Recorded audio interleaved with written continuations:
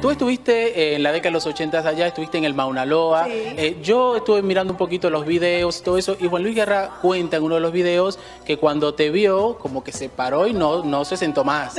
es verdad. Ay, Juan Luis, tan, tan ar- artista tan grande, ¿no? Que tienen ustedes, la verdad que es, es maravilloso y mm, yo lo conocí, es verdad.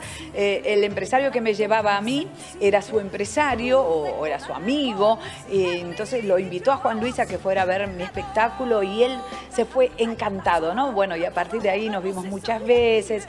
Eh, yo estuve haciendo homenajes para él muchas veces aquí en, en Argentina.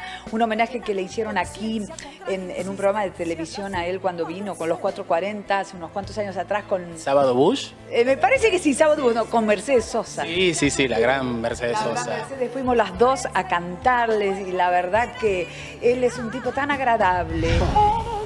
Morada que habito y si tú te vas, ya no me queda nada. Si tú te vas, si tú te vas, mi corazón se morirá. Tan humano, tan humilde, tan sencillo, que eso es importante, ¿no? Cuando un artista es tan grande como él, seguir manteniendo la humildad, ¿no? Así que para mí ha sido un placer conocerlo, admirarlo desde siempre. Eh, nos perdimos un poco porque hace mucho que no nos vemos, pero seguramente él debe tener un buen recuerdo mío como el gran recuerdo que tengo yo de él.